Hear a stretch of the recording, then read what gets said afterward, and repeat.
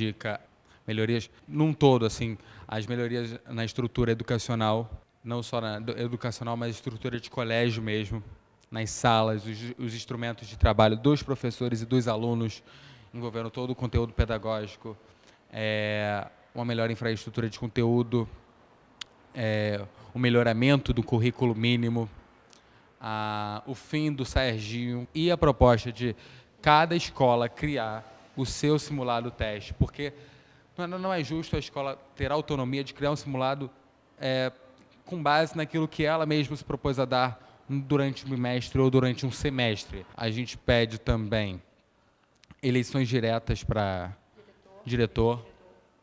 diretor, e vice-diretor, não só isso, toda a, a, a, coordenação pedagógica da escola, a gente pede eleições diretas, porque nos últimos anos não tem sido assim. As nossas cabeças estão a mil, mas esses que eu citei são assim, os principais as principais reivindicações dos alunos nesse momento de ocupação. Não tem como nem contar quanta gente tem problema com o trabalho, com o vizinho, com a família, é um sistema que funciona desse jeito. Não tem como parar. Ah, tá, tá, tá, vamos ver o que vai dar. É preciso dar um tempo, parar pra relaxar. Nesse poço desse mar de lá, mas não vou me afundar. Somos jovens e podemos encontrar outra saída. É só procurar. É isso aí. É isso aí. O grupo que é do Desocupa, né? Eles falam, ah, mas é, porque vocês estão fazendo aulão, gente pode ter uma aula normal com os nossos professores. E aí a gente fala, mas você tem que entender que, primeiramente, o que a gente está apoiando aqui é a greve dos professores. E os, os faxineiros, os terceirizados, não estavam recebendo também. Tanto que antes da ocupação, os faxineiros já tinham deixado de vir e as merendeiras pararam de vir. Então não tinha almoço não estava tendo limpeza. A gente fazendo o que a gente está fazendo aqui, a gente vê o que eles, que eles passam, sabe? Para para atender tudo que a gente, a gente precisa, sabe? E acho que é até uma coisa, tipo, eu sou eles aluna, mas é até uma coisa que, tipo, é, quando entrarem na escola depois da ocupação, vão olhar de outro jeito, sabe? Por exemplo, a gente de manhã chega e limpa as coisas, ah, vamos ver se está com papel, se está... É uma preocupação que a gente sabe que eles têm, sabe? E quando chegarem aqui e pensar, nossa, eu dormi aqui, a gente conviveu com todo mundo, é uma coisa, é uma experiência que não tem como esquecer, sabe? É pensar muito além do, é, da, da, normalidade da coisa. Então não adianta também você criar um argumento, ah, nunca ninguém pensou nisso, que deve ter um motivo, assim, você, né, um argumento absurdo não vai valer a pena. E diferente, né, que quando você é, é, bebe e vai dirigir, não é um problema seu, é um problema nosso. Porque se eu não me e estou dirigindo, eu posso acabar levando a culpa para alguém. Normalmente nas escolas estaduais não tem muito uma aprendizagem política, né? um baseamento político.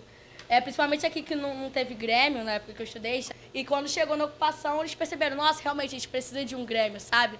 Porque a gente vai chegar aqui e vai fazer essas mudanças que a gente está fazendo aqui, a gente pode fazer todos os dias, durante é, a aula, é, durante o ano letivo. Então a galera chegou e falou, realmente, a gente precisa de um Grêmio os debates políticos que, por exemplo, ontem a gente teve dois debates políticos que a gente não, tipo, eu não tive o ano inteiro, ano passado ou nos outros anos, entendeu? Sobre feminismo, sobre as ocupações de São Paulo, sobre impeachment, sabe? Um dia inteiro sobre debate que a gente abre a nossa mente muito mais do que um ano inteiro de aula, entendeu? Não é só ficar na frente da, da do quadro é, resolvendo tarefa e não debater, não fazer nada.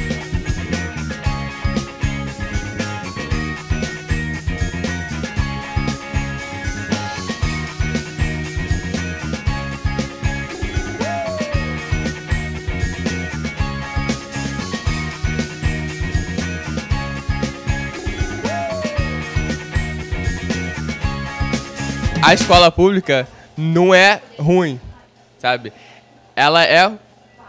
Ela teoricamente teria que estar no topo de todas as escolas, sabe? Mas por um egoísmo, não sei se é essa palavra certa, acaba estando no que tá, sabe? É, mas nós estamos lutando e, e nós vamos conseguir todas as melhorias que não é agora, né? Nós sabemos que é uma coisa a longo prazo.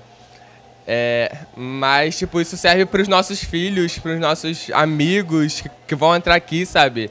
Não é nem pra gente se. Eu já tô saindo, eu tô no terceiro ano, sabe? É, eu já saio agora, esse ano, mas, sabe, meu filho, ele vai estudar aqui, amigo meu, filho de amigo meu, sabe? Vai estudar aqui. E, cara, eu quero isso aqui o melhor possível para todo mundo. Eu saio daqui mais politizado, eu saio daqui crendo que podemos sim trabalhar em conjunto e a gente, trabalhando em conjunto, a gente consegue tudo que a gente quer. Eu sei que essa ocupação, apesar de muita gente estar achando que não, mas essa ocupação está sendo. Ela está ajudando muito a gente a ver as coisas de olhos diferentes. O aprendizado, meu aprendizado aqui vai ser, gente, pelo amor de Deus, vai ser maravilhoso. Está sendo maravilhoso. Porque eu sei que eu aprendi muito mais coisa nessa ocupação do que eu aprenderia se eu estivesse numa aula, tendo, tipo, uma aula tradicional, uma aula normal, uma aula com os professores. Não estou falando que os professores são ruins nem nada, até porque nós temos o melhor grupo de, de professores do, do Estado. Estou falando que eu, minha pessoa, está aprendendo mais com essa ocupação do que se eu estivesse numa sala ele escrevendo, eu copiando, e é isso, tem que estudar em casa e acabou, sabe? Não tem como nem contar quanta gente tem problema com o trabalho, com o vizinho, com a família, é um sistema que funciona desse jeito, não tem como parar. Ah, tá, tá, tá, vamos ver no que vai dar, é preciso dar o tempo, parar pra relaxar, nesse poço, nesse mar de mas não vou me afundar, somos jovens e podemos encontrar outra saída, é só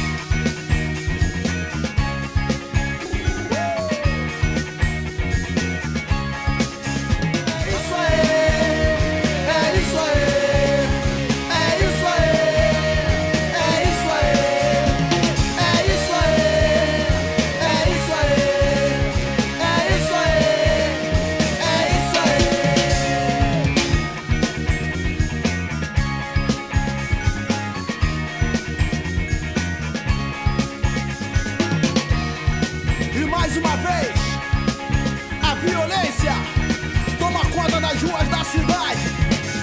E eu te faço uma pergunta: qual será a saída?